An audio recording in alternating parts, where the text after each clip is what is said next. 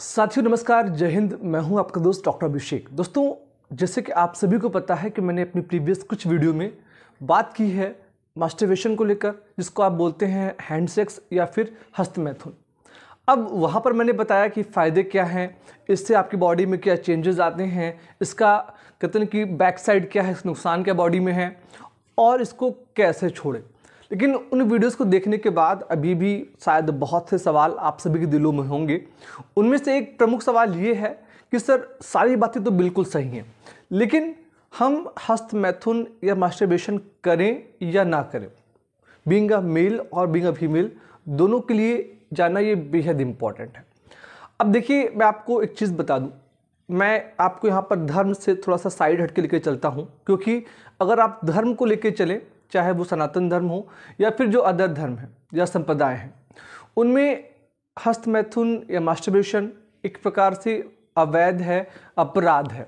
लेकिन अगर आप साइंस को मान के चलते हैं तो साइंस जो है, इस चीज़ को वैलिड मानती है और साइंस के अकॉर्डिंग आप कर सकते हैं। यानी कोई भी ऐसा बच्चा जो एडल्ट है और अगर उसके अंदर सेक्सुअल एक्टिविटीज़ या उसको सेक्स करने की इच्छा जागृत होती है तो फिर वो मास्टरबेशन कर सकता है, चाहे वो एक मेल है या फिर वो एक फीमेल है।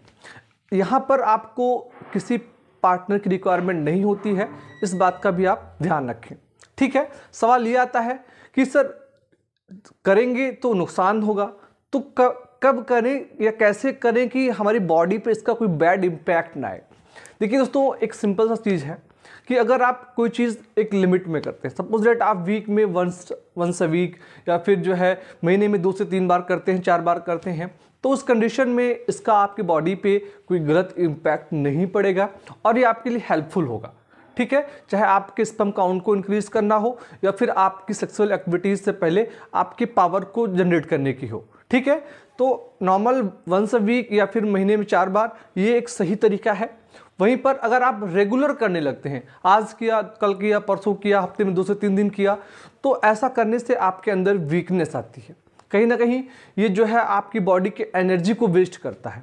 ठीक है, एक सवाल आता है कि सर, क्या ब्लड से स्पम या ओम का कोई कनेक्शन है? तो इसका आंसर है, बिल्कुल नहीं है। स्पम एक अलग प्रोसीजर बनता है और ब्लड एक दूसरे प्रोसीजर से बनता है।